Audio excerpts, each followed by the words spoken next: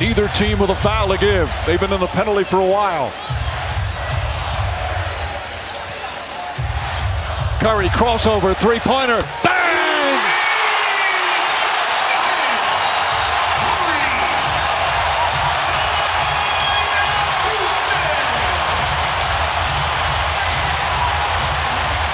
Mike, the decision was put Nene in for rebounding, but it leaves you vulnerable to the pick and roll.